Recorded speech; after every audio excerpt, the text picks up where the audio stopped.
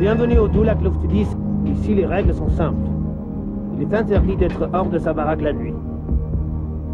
La violation de cette règle entraînerait votre arrestation. Porter une arme, attaquer un garde ou franchir le fil d'avertissement est interdit et puni de mort. Toute violation vous vaudrait d'être fusillé.